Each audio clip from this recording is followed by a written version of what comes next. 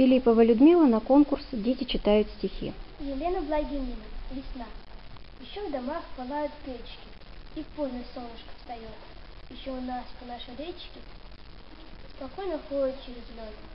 Еще к саразу дровами не проберешься напрямую, и в садике под деревами не древний снеголет. Еще мы все тепло одеты, купальки, ватные штаны, а все-таки без неприметы во всем, во всем уже видны. В том, как крыши потеплели, и как у солнца на виду капели, падая, запели, захлопотали каприду.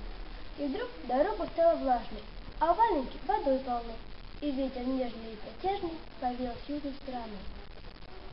А воробьи кричат друг дружку про солнце, про его красу, и все веселые веснушки уселись на одном носу.